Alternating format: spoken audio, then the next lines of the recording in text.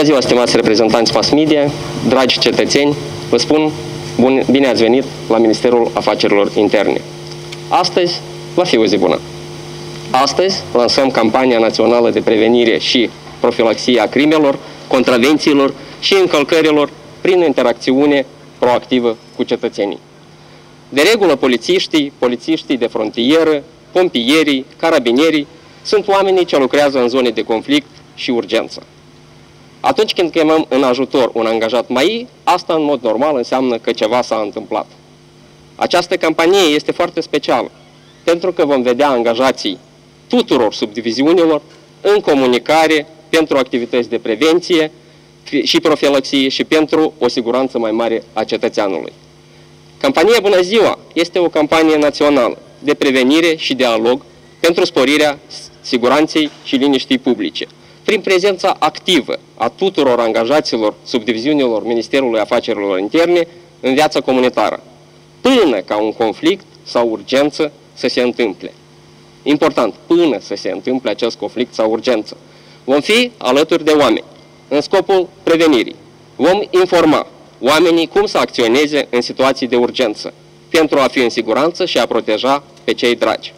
Peste 2800 de angajați din subordine Ministerului Afacerilor Interne vor fi zilnic în comunicare cu oamenii, timp de două săptămâni, în echipaje mixte, polițiștii împreună cu carabinerii, polițiștii de frontieră împreună cu salvatorii și pompierii și viceversa, vor pleca în peste 200 de localități pentru a stabili un dialog cu cetățeanul și acest dialog va fi bazat pe respect și cooperare. Este o premieră când patru subdiviziuni de forță, AMAI, vor lucra în echipaje mixte pentru a soluționa tot spectrul de probleme legate de ordinea și securitatea publică cu care se confruntă cetățeanul. Dincolo de subiectele ce țin de securitatea publică, unul dintre subiectele prioritare vor fi condițiile de pandemie prin care trece Republica Moldova. Vom mulțumi oamenilor pentru că poartă masca corect. Le vom mulțumi pentru faptul că sunt vaccinați, pentru că nu organizează evenimente în masă și nu îi expun pe cei dragi la risc. Le vom spune oamenilor bună ziua și un mare mulțumesc pentru că sunt cetățeni responsabili. Lansăm campania Bună Ziua care va aduce angajații noștri în contact direct cu cetățenii, în curțile blocurilor, lângă grădinițe și spitale, lângă instituțiile de învățământ, în piețe, în parcuri, pentru a descuraja activitățile criminale, pentru a preveni încălcările, a răspunde la întrebări, a începe discuția cu un bună ziua, așa încât cetățenilor această zi să le fie cu adevărat una bună. Vă mulțumim și dumneavoastră și cetățenilor că sunteți cetățeni responsabili și să avem cu toții o zi bună. Acum o să invit colegii de la subdiviziuni să prezinte cifrele și să ne spună exact cum vor interveni subdiviziunile în această campanie. Domnul Podarilov. Mulțumesc. Stimați oaspeți, deci Inspectoratul General al Poliției vine astăzi în campania națională Bună Ziua cu peste 1500 de angajați zilnic. Venim să fim alături de cetățeni, alături de oameni pentru a preveni infracționalitatea și a stabili un dialog proactiv cu fiecare cetățeni, cetățean al societății noastre. Pe parcursul următoarelor, următoarelor săptămâni, poliția va fi alături de cetățeni, nu doar atunci când s-a întâmplat o urgență și uh, persoana a telefonat la 112, dar atunci când este nevoie de o comunicare, este nevoie de primirea unei informații pozitive. Echipele de patrulare mixte, despre care au menționat secretarul de stat, vor fi alături de cetățeni pentru a informa și pentru a răspunde la toate întrebările și problemele cetățenilor. Ne dorim ca comunicarea cu implicare pentru identificarea problemelor de siguranță comunitară, astfel încât să fim împreună pentru a confrunta toate provocările actuale, inclusiv având în vedere și riscurile determinate de evoluțiile pandemice COVID-19. Îmi doresc ca pentru toți polițiștii și toți, toată echipa Ministerului de Interne, comunicarea cu cetățenii să înceapă mereu cu un bună ziua, iar prestația lor să fie răscumpărată doar printr-un sincer mulțumesc. Pentru uh, noi contează atitudinea și siguranța fiecărui cetățean. Mulțumesc mult!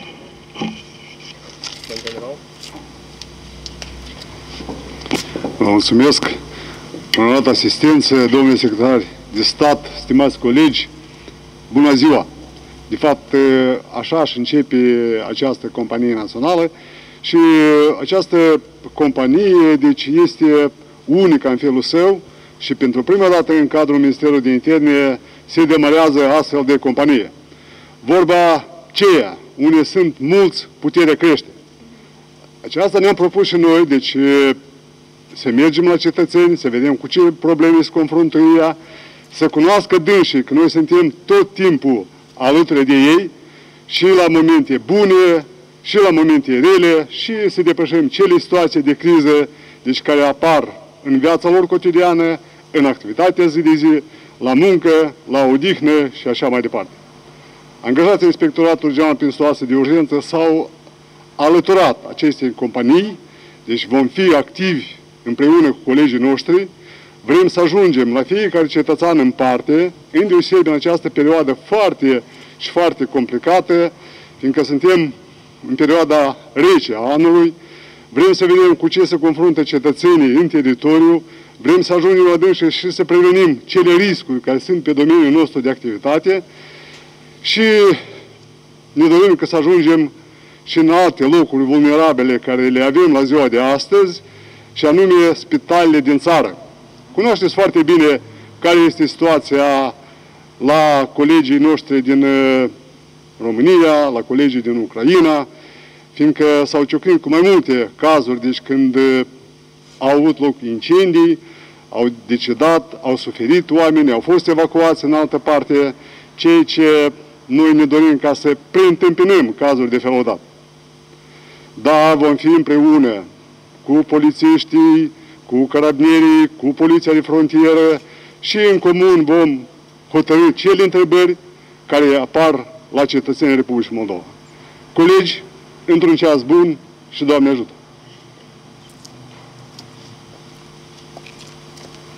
Stimați colegi, onorată mass media, la rândul din numele instituției pe care am onoarea să o reprezint, vreau să vă salut cu un călduros bună ziua! Să știți că este o operațiune în premieră pentru Ministerul de Interne când uh, marea familie armelor Ministerului de Interne interacționează într-o operațiune comună.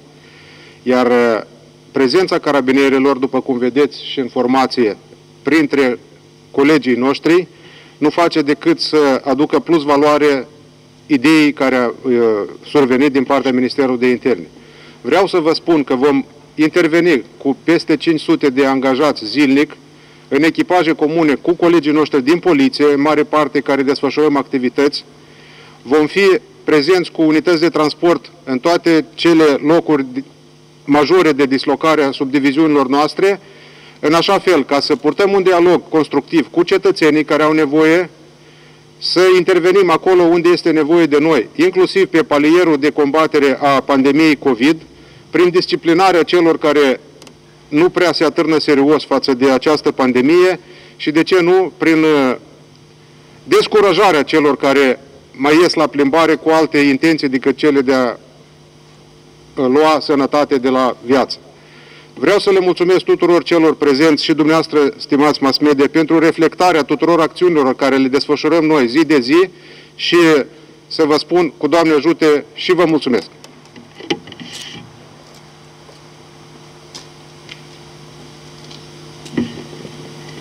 Dragi cetățeni, stimați colegi, această campanie, cum au spus-o și antivorbitorii mei, este o premieră pentru Republica Moldova. Este o premieră ca și alte acțiuni care sunt desfășurate în sistemul afacerilor interne. Pe parcursul activității mele, eu nu mai țin minte ca noi să fim alături în acest format. Ceea ce ne dorim noi, ceea ce vom face noi, este orientat spre cetățean.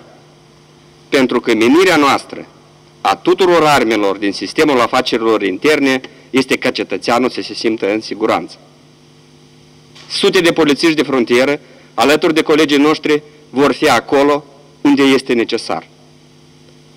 Vor fi lângă cetățeni, vor fi lângă autoritățile administrației publice locale ca să încurajăm respectarea legislației, să preîntâmpinăm acele ilegalități care sunt în zona de frontieră. Noi vom fi acolo unde este nevoie. Noi vom fi acolo unde este necesar sprijinul nostru și în același timp ne vom bucura de sprijinul și din partea cetățenilor.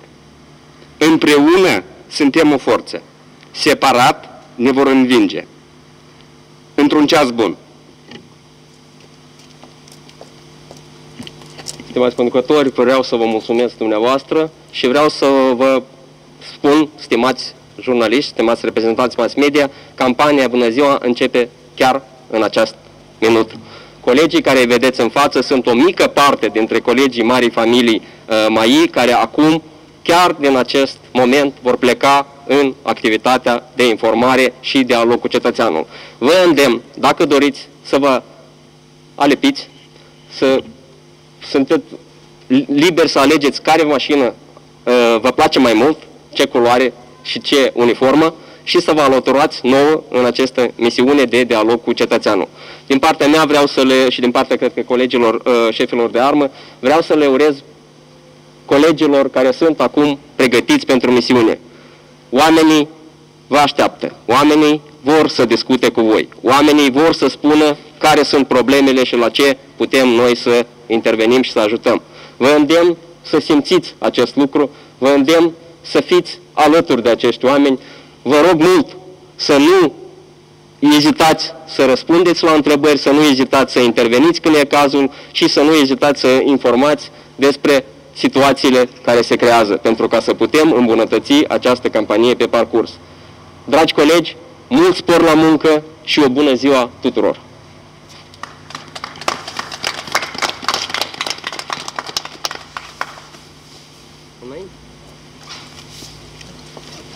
Noi chiar vă îndemnăm, dacă vreți să plecați cu noi chiar acum în teritoriu, pentru că nu să mergeți. Dacă nu,